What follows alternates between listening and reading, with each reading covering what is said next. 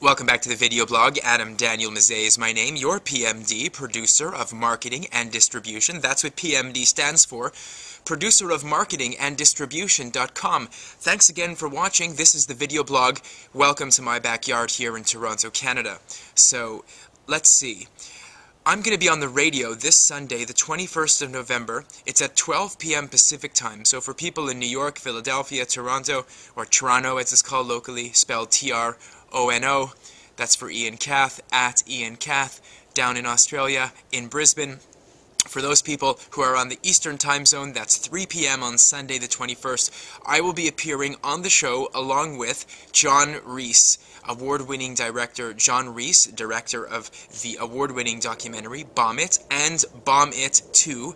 Go ahead and check out some of Jon's great extra diegetic material, bonus material at babelgum.com. Just put in bomb it and the number 2 and see what comes up to you. He's got about, I think, 14 or 15 excellent clips of different places where he's gone around the world documenting, chronicling street art. Jon Reiss, of course, is the author of ThinkOutsideTheBoxOffice.com, that famous DIY, do-it-yourself distribution book that is made primarily for independent filmmakers, which again chronicles Jon's journey uh, in trying to get his documentary with Tracy Wares uh, distributed independently, even after selling out their premiere screening at Tribeca Film Festival in New York to sold out lines that were snaking all around the corner in the city. So he talks about that in Think Outside the Box Office. You can go to the website, buy the book. It's now out in second edition. So the show, of course, will be on Film Courage, which is David Branin and Karen Worden's great indie community site. I'll be speaking there as a PMD. Jon will be speaking as himself, director, and of course, he'll probably be getting into issues of the PMD, which is a role that he coined. And of course, he'll be making reference to some of the cutting edge techniques that PMDs utilize to get traction for their clients, for the films that they represent that they market and distribute for.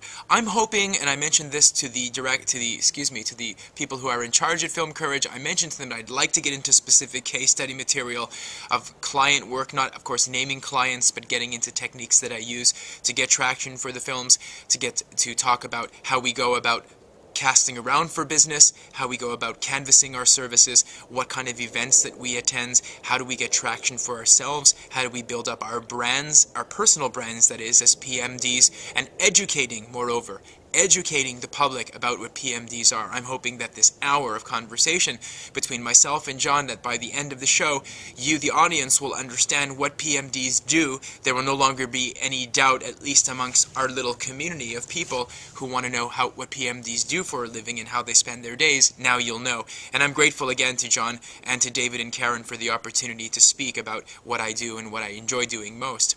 So, that's the date. November the 21st, and you can catch a whole slew of prior shows at Film Courage, and believe me, they're all good. I'm not just shilling for my show. I listen to this show every Sunday. If you can't get it live, it's going to be available, what I call tape delay, or you can download the podcast at filmcourage.com. It'll be up there as a post. Anything and anyone that's on that show generally has really good advice for filmmakers and musicians, independent musicians, that are looking to gain audience, traction, promotion for their film, more than just PR hacks, and like I said, more than just a shill.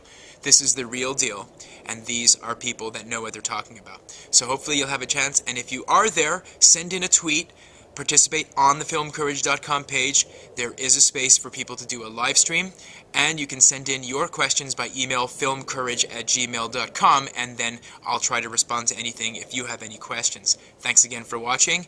It is getting cold here in Toronto. I'm sure you can see the steam coming out of my breath. I know I've said that a million times, but it'll get worse as the days go by, and I make a commitment to you to recording outside until I just can't stand here anymore because my camera will blow over from the wind. You'll be seeing snow behind me over here on the grass. Yes, I'll be out here doing it in the snow.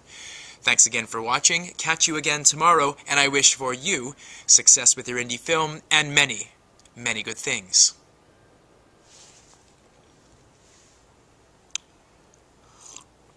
And by the way, if you want your project up here on this particular piece of real estate, you can make mugs, send them to me, and I will hold them up on the show.